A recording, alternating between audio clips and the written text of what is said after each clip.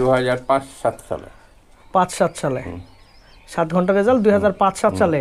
That means দুই হাজার পাঁচ সালে তখন মনে করেন দেশি কবুতর দিয়ে সাত ঘণ্টা রেজাল্ট করছিল ভোলা কাকা।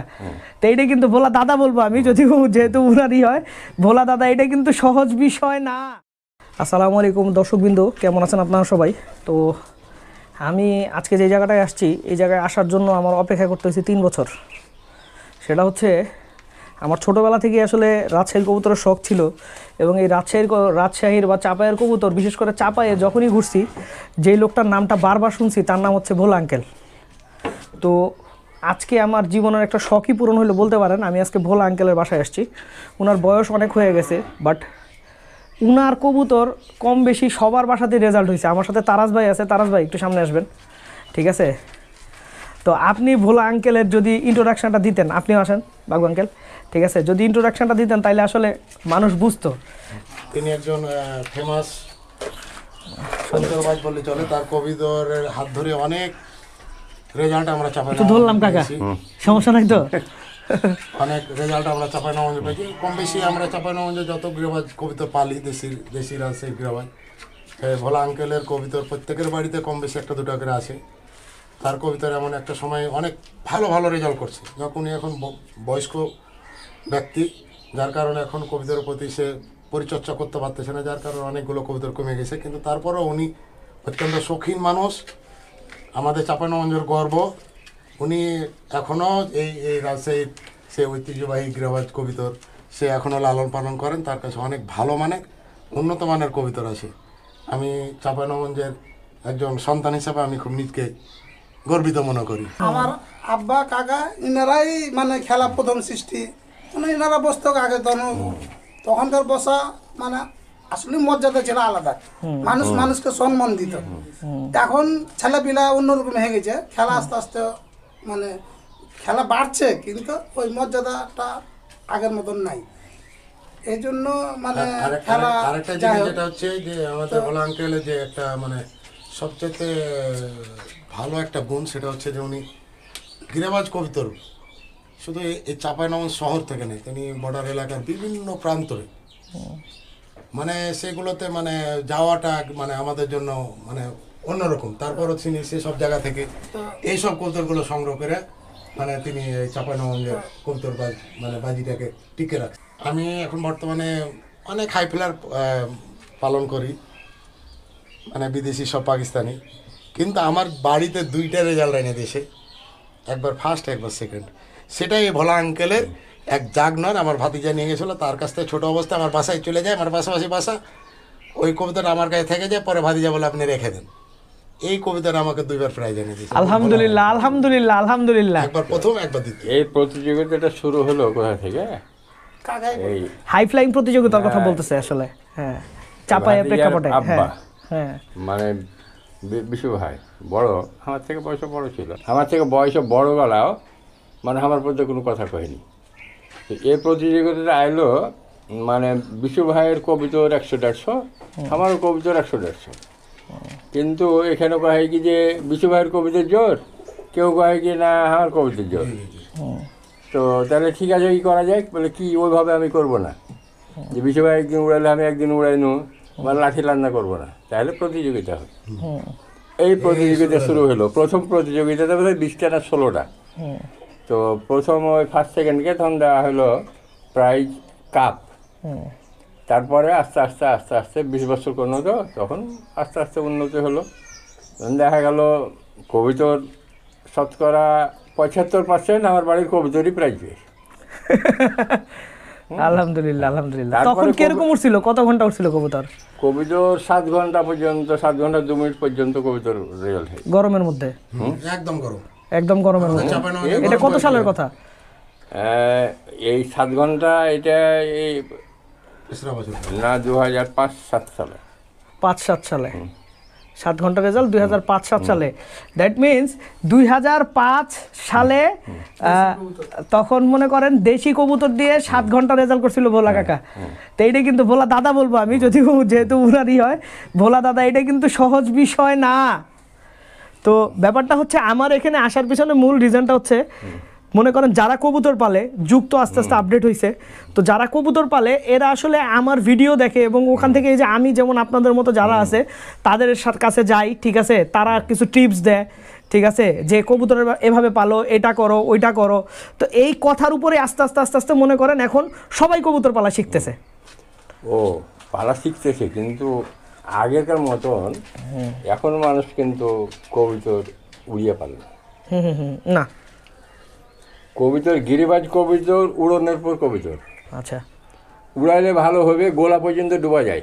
আচ্ছা। পাঁচটা কবিতার মধ্যে এখানে একটা গোলার বাচ্চা আছে তো ও ছোট থেকে উড়াইতে উড়াইতে ও ওয়ার্কের সাথে চলে যাবে। ডুবে গেল কিন্তু মহত্বের মধ্যে পড়ে যাবে।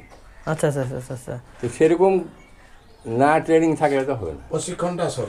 প্রশিক্ষণটা আসল প্রশিক্ষণ ভালো মন্দ আছে বংশ আছে। আচ্ছা যদি এখন মনে করেন এই চাপায়ের কবুতর ঠিক আছে ভালো মন্দ কীভাবে আসলে চিনবে মানুষ এটা নিয়ে যদি দুইটা কথা বলতেন নতুনরা যদি একটু শিখতো আপনার থেকে। ভালোভাবে চিনবে কীরকম উড়ন দেখলে চিনতে পারবে। না না তারপর আপনার ব্লাড লাইন গেলা যেগুলো যেগুলা মনে করেন ব্লাড লাইন গিরে বাজার আমি বিশ্বাস করি না। ব্লাড লাইন দুটা ধরেন আমার বাড়ি থেকে একটা আপনি দেখে ভালো নিয়ে এলেন কবিতর। একটা অন্য ভালো দেখে কিন্তু নিতে হবে খেলে উড়োনে দমে। তাহলেই হয়ে যাবে। আর আপনি এখন আমার কাছ থেকে ধরেন কি সাধারণটা নিয়ে গেলেন। হুম। এখন নিয়ে যে একটা বর্তল আটতে কিনে জোড়া দিলেন তো বাচ্চা আশা করা যাবে না?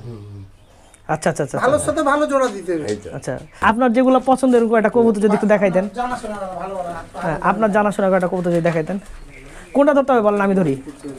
এই দোকানটা ধরেনি সারাটা ধরেন সহজ নয় আর কবুতর ধরা, তারপর মানুষ আছে তো। ধরতে পারব মনে হয়। হ্যাঁ? ওইটা? হ্যাঁ। কাকার ধরতে কষ্ট হয়ে যাবে। এই যে এটা কবুতর। এই যে কবুতর। ঠিক আছে। এই যে এক লোক ঢাকা থেকে এসে ধরেন দেখেন হ্যাঁ হ্যাঁ তারপরে ওই চোখ দেখছে। ওই চোখ দেখে কি হয়? ওকে প্রশ্ন করছি চোখ দেখে কি হয়? বলে চোখ দেখে আরও কয় ঘণ্টা উড়বে বলতে পারো আমি বাপের কারণে। তাই? হ্যাঁ। কাকা আমরা তো কবুতরের চোখ টোক দেখেই বুঝি হ্যাঁ। এমনিতে একটা মানুষ যদি মনে করেন হাই ফ্লাইং তার মানে কবুতর উড়ানোতে ভালো করতে চায় ঠিক আছে? কবুতর কালেকশন ছাড়া তার কি কি করা উচিত আপনি মনে করেন? সে যদি চাকরিজীবী হয় হবে না। আচ্ছা। সে যদি বাড়িতে বসে থাকা লোক লাগবে আচ্ছা। তাছাড়া গিরবাজ কবিতা করতে পারবে না। হ্যাঁ, খাবার খাওয়াবে কি ধরনের? খাওয়া দাওয়া এখন মসুরি জিনিসটা চিরদিনই আমি বেশি খাওয়াই। মসুরের ডাল? না মসুরের ডালে মসুরি গোটা মসুর। আচ্ছা। হুম? হ্যাঁ। তারপরে এখন যে খাবার খাওয়াইছে ভুট্টা টুট্টা এগুলো আমি কোনোদিন খাওয়াইনি। আচ্ছা। তা আমার এই উকিল মামা কইছে হুম। হ্যাঁ হ্যাঁ হ্যাঁ হ্যাঁ মোট হ্যাঁ হ্যাঁ ভারতে কবিতা ছিল হুম। কবিতর হজন তাও দুটা মশুরি খেতে পারতেন। মানে লিখা মশুরি আপনি মসুরি সবসময় বেশি খাওয়াইতেন? হ্যাঁ। এটা কি দেশিটা নাকি মসুরি দেশিটা। মশুরিটা হলো খুব গরম খাবার। আচ্ছা। খাবারের ভিতরে। ওর ডিমও পারবে ঘন। কিন্তু আর একটা গরম থাকলে তো উড়বে মানুষ। ডাল জাতীয় খাবারটা যাওয়ার জন্য পছন্দ এটা আচ্ছা আচ্ছা এখন কি তোমার সমান আমি দৌড়াতে পারব? না পারবেন না। আগে কিন্তু তুমি হ্যাঁ সমান দৌড়াতে পারতে না। হ্যাঁ পারব না। তোমার বয়সে যখন আমি ছিল পারতে না হ্যাঁ। এসব ভিড় এই- এত পা দিয়ে টপকে উঠে গেছি। আচ্ছা। নিজের নিজের বয়সের কথা কইছি আচ্ছা আচ্ছা আচ্ছা হ্যাঁ। আচ্ছা মানে মার দুধ আমি চার বছর ধরে খাইছি। আমি মার একে একটাই সন্তান। আচ্ছা। আচ্ছা তো কাকা আরেকটা কথা সেটা হচ্ছে যে আপনারা যখন কবুতরের এই যে সাত ঘণ্টা যখন উড়েছে তো আপনারা কি কবুতরকে পানির সাথে মনে করেন কোনো কিছু ধইনা বা সোয়াব এগুলো কিছু খাইয়েছিলেন? আমরা কবিতর এক বছর যেটা কবিতর উড়ালছি সিনিয়র কবিতর। হ্যাঁ। হুম? মানে চার ঘণ্টা নিচে আসে না। হ্যাঁ। সে কবিতর সে বছর পানি খাওয়াই স্যালাইনের পানি খাইয়ে উড়াইনো সে কবিতর দু ঘণ্টার মধ্যে নেমে চলে। তো কিচ্ছু নয়। যা খাওয়ার অন্তপক্ষে বিকালে হালকা খাবার দিতে হবে যাতে সকালে থলিতে না থাকে। হুম। আর খাবার খাওয়িয়ে উড়াইলে ও গোলা। আচ্ছা আমি এই কথাটা কিন্তু অনেকবার বলছি এখানে বিশেষ করে চাপায়ের যারা এখন লোকজন আছে তো উনাদের সাথে আমার আগে যখন কথা হয়েছে আমি সবসময় বলছি কবুতরের খাবারের পেটের খাবারটা হজম হইতে হবে। সকালে খাবারের শক্তিটা থাকবে খাবার থাকবে যেমন একটা কথা বলি হ্যাঁ। আগে একটা কবুতর আমার হারিয়ে গেছে। হারিয়ে গেছে তো বাড়ি চিনতে পারে না কিন্তু কোনো গাছে বসে থাকবে কিন্তু পানিও খাবে না ধরা যাবে তিন দিন পর্যন্ত না খেয়ে থাকতে পারবে। হুম। তবুও কিছু হয় না। কবিতা যদি একটা কবিতাকে ভরে ছেড়ে দেন দুদিন ধরে মরবে না একটু শুকাবে কিন্তু মরবে না। তো মানুষ মনে করছে কি যে চালাকে পানি টানি খাইয়ে উড়ায়। আমার নিজের অভিজ্ঞতার কথা কহিনি যে আমি কোনদিন যে একবার পানি খাইয়ে উড়ালছেন কখন পানি খাইয়েছিলেন সকালে ধরেন কি যে উড়ার আগে আটটাতে উড়াবো তো টাইম ছিল আটটায়। তখন তো এখন তো ধরেন কি ছটা পনেরো ছটাতে সকাল হবে। তখন ওই যে কটা উড়াবো সে কটা এখানে পানি দিয়ে ওই ছেড়ে দিয়েছি। পানি খেয়ে লেছে ঘেরে ভরে দিয়েছি। তো পানি খাওয়ালে কিন্তু আগে থেকে ওই যে কোনো বিকালে খাবারটা কম দিতে হবে যাতে ওই পানির দরকারটা না পানি রাত্রি দশটার দিকে খাওয়াই না অত খাওয়ার কি দরকার দশটার দিকে খাওয়াইলে কাকা ওই খাবারটা হজম হয়ে যায় আর কি প্রতিদিনই করতে হবে তবে না তবে যারা হ্যাঁ। আমি তো প্রতিদিন খাওয়াই। সাথে একমত সজল আমার সাথে একমত হবে কিন্তু এখন বর্তমানে যে প্রচলনটা এসছে এরা কবুতরকে কি করছে ওই যেদিন হয়তো কালকে বাজি আছে হুম। হয়তো ওদিকে যায় না, বললা? খাওয়াই দিয়ে কত ঢেকে দিল। তো মজু হয়ে দেখবে না। রাত্রি দশটা এগারোটার দিকে হালকা সিরিজে করে পানি একটু খাওয়াই দেয়।